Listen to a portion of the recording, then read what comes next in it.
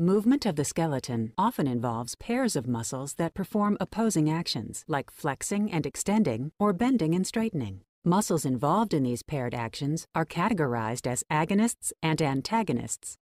A muscle that contracts to generate the main force of an action is called the prime mover, or the agonist for that action. Muscles that perform the paired and opposing action are called the antagonists. The agonists in elbow flexion are the muscles that contract to bring the elbow joint into a flexed position. The antagonists are the muscles that perform the opposite action, elbow extension. When the action of elbow extension occurs, the roles switch. The triceps brachii is now the agonist and contracts to extend the limb, while the biceps brachii muscle is relaxed and becomes the antagonist. Muscle interactions throughout body regions involve paired actions. These include flexion and extension, elevation and depression